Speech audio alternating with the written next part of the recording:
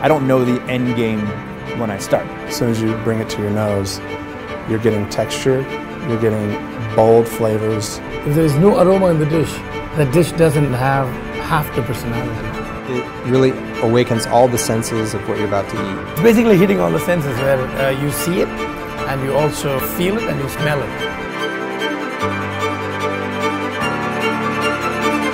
Aroma is the soul of the dish. Uh, to explain it is basically explaining the dish itself.